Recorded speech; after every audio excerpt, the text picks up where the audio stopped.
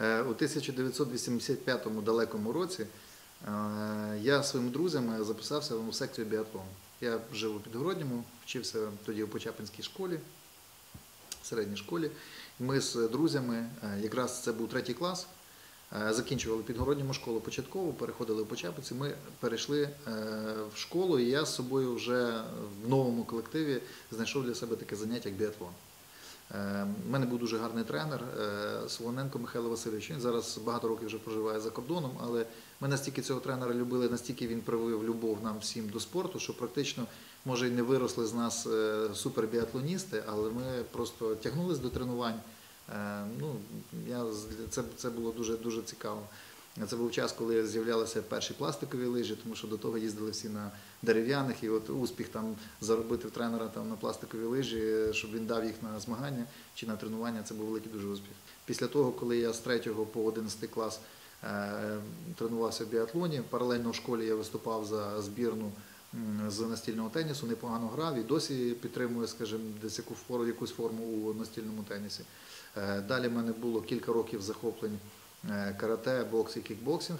Я тренувався в клубі Тернопіль у Сергія Голоюха, займався у Миколи Сергійовича Мамчура у клубі Сакура, е, здавав на пояса, це було дуже цікаво. І е, свою любов інтерес до бойових мистецтв я теж всі ці роки зберігаю і дуже ну, скажімо, дуже з великим авторитетом ставлю, вважаю дуже великими авторитетами у своєму житті тих людей, які, які мене вчили цих мистецтв.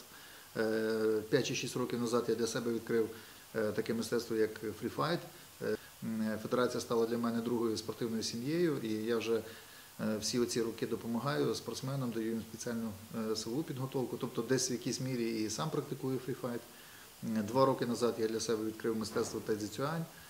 Е, Це китайська оздоровча гімнастика, енергетична гімнастика, яка теж мені додає певного такого спортивного е, ну, якихось таких певних відтінків у мою спортивну е, кар'єру. Ну і слід сказати, що все-таки основним моїм спортивним заняттям е, став бодібілдинг. Е, Я почав займатися ще на перших курсах інституту. Ну, тобто, вже десь біля 20 років я регулярно тренуюся в тренажерних залах. Практично в Тернополі майже у всіх залах я тренувався.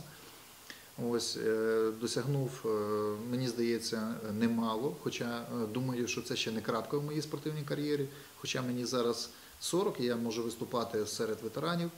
Ну, з 2003 року я готую спортсменів, виступаю, то перемагав на чемпіонатах і на Кубках України, перемагав і входив е, в призові трійки на чемпіонатах Європи, на чемпіонатах світу. У 2006 році став чемпіоном світу з жиму лежачі в Сполучених Штатах. Е, Перемагав на турнірах в Великобританії по пауерліфтингу, в Австрії на турнірах по жиму лежачі. Е, В 2013 році став чемпіоном світу з фітнесу разом з дружиною.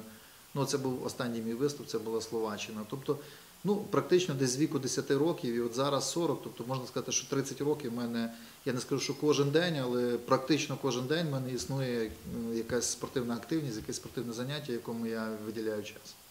Батько був за, мама, як будь-яка мама, завжди переживала, щоб все було добре з здоров'ям, щоб не травмувався, щоб не перегрузився, щоб нормально їв і так далі. Ну, е, мені здається, що хоча мої батьки зовсім не спортивні люди е, були і є. І я просто хочу сказати, що, мабуть, навіть якщо не їхній там особистий приклад, бо в сім'ї не було спортсменів до того, не було такої традиції, то їхнє розуміння того, що я себе мав десь знайти у чомусь, от воно допомагало, тому ніхто не опирався, тому що я шукав себе в спорті, ніхто мені не ставив палки в колеса, не було в мене проблем, щоб піти на тренування. Ну, тобто в сім'ї був такий е, клімат, що якщо це мені потрібно, якщо це мій вибір, значить, будь ласка, бери і роби. Мені дуже подобалась завжди професія вчителя, педагога, тренера, оскільки я з 10-літнього віку завжди знаходився в спортивних сім'ях, завжди для мене мої всі вчителі і тренери для мене авторитети залишаються. Е, Ця професія, тобто вчитель, тренер, педагог, е, це те, що е, є в мене в житті головним. І е, вважаю, що це центральне, центральне моє, скажімо так, е, хобі, і це можливо навіть можна вважати своєю місією. Це вміння вчитись, накопичувати знання, певний досвід і його трансформувати і поділитися з його з іншими. Тому що величезна радість тоді, коли ти сам отримуєш медаль, нагороду, а ще більша радість, коли е, твої учні це отримують. І за всю мою спортивну кар'єру як е, спортсмена я отримав там, умовно кажучи, я так жартую, що відро медалей. Я вже їх назбирав. І ще в це відро медалей доклалася моя дружина і мій син, який теж е, вже має спортивні перемоги. І дружина теж дуже титулована спортсменка. Визнавалася кращою спортсменкою Тернопільської області, теж чемпіонка світу, Європи, дуже багато в неї е, перемог є. Але якщо докупи зібрати всі е, перемоги моїх учнів, моїх вихованців, тих людей, яким я допомагав і допомагаю, то це вийде вже, напевно, не одне відро медалей. Тобто це, напевно, теж ем, е, приносить таку ну, велике таке моральне задоволення, тому що от робота педагога вона може бути тільки тоді такою щирою, коли ти вмієш радіти за успіхи своїх учнів. Навпаки, дуже легко. Дружина розуміє всі мої там потреби, я відповідно розумію її потреби. Коли, наприклад, я готувався до змагання, вона ні, вона пропускала цей сезон. То все рівно, коли я приходив додому, я знав, що мене очікує вдома е, не тільки там е, домашня атмосфера і там затишок. Я знав, що приготована їжа така і в такий спосіб, як мені потрібно, тому що в моєму виді спорту дуже важливо якість харчування, зміст харчування, там чистота, об'єм їжі і так далі. Все це прораховується. Це така складна досить математика. Бо це специфічний вид спорту. Е, І дружина мене розуміє, мені не треба її переконувати, що вона там, припустимо, не додавала її мою їжу, не додавала, наприклад, солі чи приправ. Тобто, насправді дуже просто жити з людиною, е, коли вона розуміє твої проблеми, е, коли вона живе тим самим, коли у вас спільні інтереси. Якщо люди говорять про те, що от притягуються якісь там протилежності, можливо, протилежні темпераменти, але от цінності повинні бути завжди однакові. Є дуже гарна фраза: не виховуйте своїх дітей, виховуйте самі себе, тому що ваші діти будуть похожі на вас. Тобто, власний приклад це 90%. Нічого так не переконає дитину, як вона бачить, що тато з мамою зранку встали, ну особливо коли десь там літо, канікули, є можливість зранку встали, і ми побігли крос, вибігли на стадіон. Ми біжимо не двоє, ми біжимо троє, тому що син він теж разом з нами. Е, Той департамент чи управління, як воно скоро буде називатися після реорганізації, займається, займається сприянням розвитку спорту в області. Е, В чому це полягає? Полягає в тому, що ми повинні допомогти спортсменам, допомогти федераціям, допомогти спортивним клубам, ентузіастам е, займатися своєю улюбленою справою. Коли мене питають, як ти збираєшся, наприклад, розвивати біатлон чи там, скажімо, для прикладу, бокс у Тернопільській області, я завжди відповідаю ніяк. Я не збираюся розвивати бокс в Тернопільській області. Я збираюсь допомогти боксерам розвивати їхній улюблений вид спорту. Проявляється це в чому? Дуже прості речі. Потрібно для того, щоб спортсмени поїхали на змагання, винайти кошти для цього, виділити їм кошти. Для того, щоб вони могли змагатись тут, їм потрібно приміщення, їм потрібно медалі, грамоти, їм потрібні судді. Тобто потрібно зібрати е, таким чином в одному місці все, що необхідно для того, щоб вони могли тренуватись, виступати, е, їздити на змагання і готуватися в повноцінних умовах. Ось тому моя робота сприяти. Я витрачаю кошти дуже раціонально. Намагаюся так, щоб дати тим спортсменам, які їдуть реально за результатом.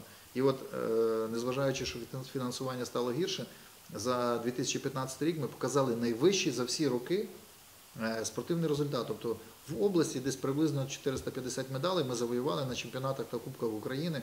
Це офіційні турніри. Тобто тернопільські спортсмени показали найвищий результат за всі, за всі ці попередні роки. Незважаючи, ще раз кажу, на те, що коштів стало значно менше. Це говорить про те, що ми зробили правильні висновки, ми проаналізували види спорту, ми взяли до уваги всі особливості і дали кошти і посприяли тим, в кого віддача найбільше. Коли ти досягаєш своїх цілей, і ти бачиш, що ці цілі такі твої, а не чужі, е, це успіх. Е, Коли те, що ти отримав, приносить тобі радість, це успіх. Коли ті люди, е, думка яких для тебе важлива, тебе підтримують, це успіх. Коли ти розумієш, що в житті твоя робота приносить якийсь результат іншим людям, е, світ від цього стає багатшим, це успіх. Коли ти відчуваєш, що ти закоханий в життя, і, це відчувають люди навколо тебе, е, це успіх. Е, Дуже є багато, мабуть, ще інших е, визначень, але по людині зразу видно, насправді, успішно вона чи ні. Це відчувається по блиску в очах, це відчувається по енергії, це відчувається по діловитості в людини, це відчувається просто по його ефективності. Якщо людина ефективна, якщо в неї високий коефіцієнт корисної дії, тобто ти до нього звертаєшся з якоюсь проблемою, він має шляхи розв'язку, він знає, з ким можна про це говорити далі, він знає, які можуть бути е, варіанти далі подій. Тобто успішна людина це ефективна людина.